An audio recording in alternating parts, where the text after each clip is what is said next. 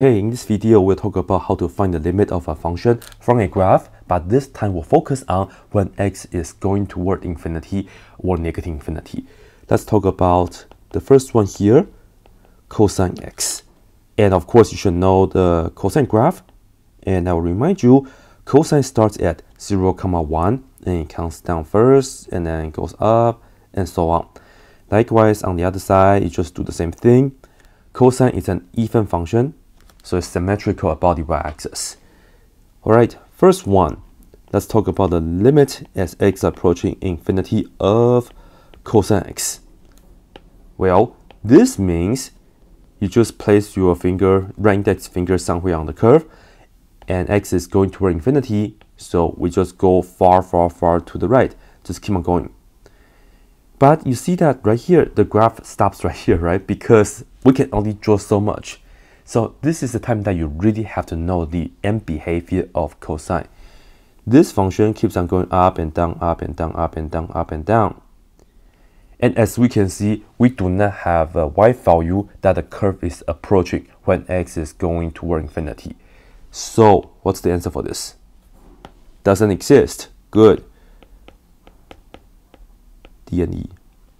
Right? Cosine is always bouncing between of negative 1 and 1 and when you go far far far to the right it's just keep on going up and down up and down up and down. It's like a misbehaving you know little kid just jump up and down up and down. All right. On the other hand if we have the limit as x approaching negative infinity of cosine x of course you can expect the same behavior right? We don't have a limit for this because if we go to the left, use your left index finger and just trace along the curve, you can see that the curve will also be going up and down, up and down, up and down, up and down. So there's also no limit for that, so it doesn't exist. And based on this two, we can say that do we have any horizontal asymptote? Well, no, right? Because the y value never approaches a specific y value when x is going toward infinity or negative infinity. Done. All right, let's take it a look of our next one. Let's say we have another function. This right here is also super common. Let's talk about the inverse tangent x. So this is the arc tangent x. And then here we go. You also have to remember the graph for this. For inverse tangent though, we do have horizontal asymptotes and better yet, we have two of them. The first one is somewhere right here, and the second one is somewhere right here. And the curve looks like this. So it looks like this.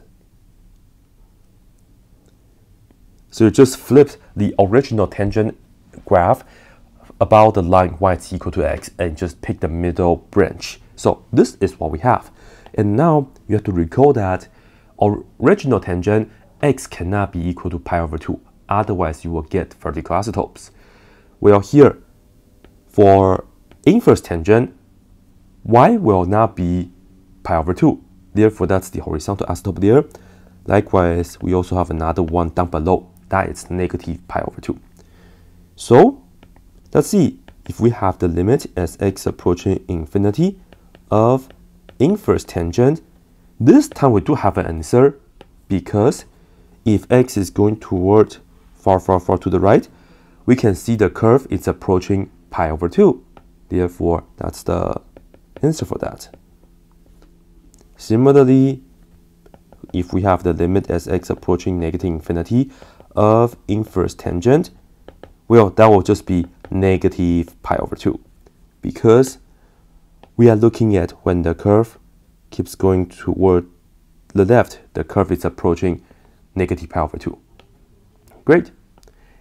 That being said, in fact, we have two horizontal asymptotes. So you write it down like this. y equals pi over 2, and the other one, y equals negative pi over 2. And here's a little question for you guys.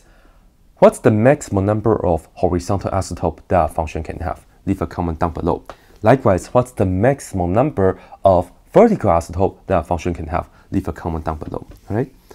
Now, let's talk about something that looks kind of similar to inverse tangent, but of course, it's rather different. Let's talk about if we have a cube root of x. So this is the inverse of x cubed, and this is the graph of it. Kind of similar, but this time the graph looks like this.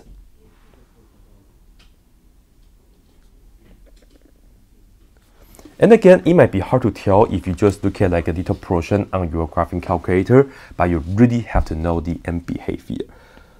For cube root or any radical functions, you do not have any horizontal asymptote.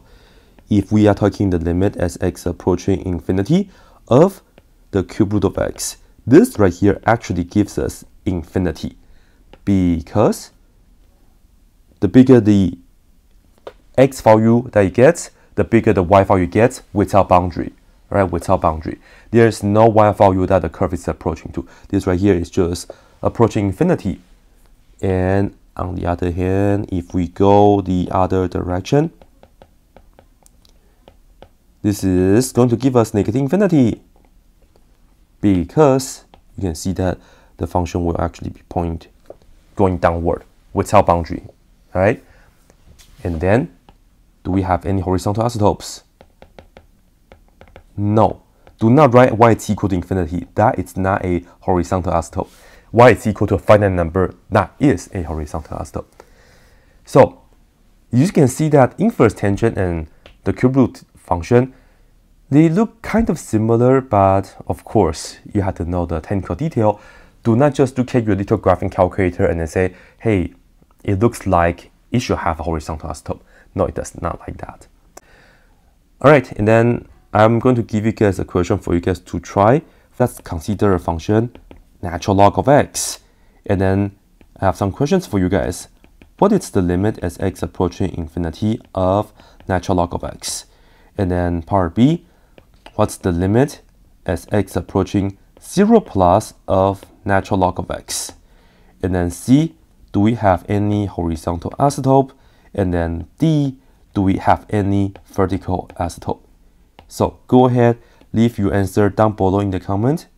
This right here is for you guys. That's it.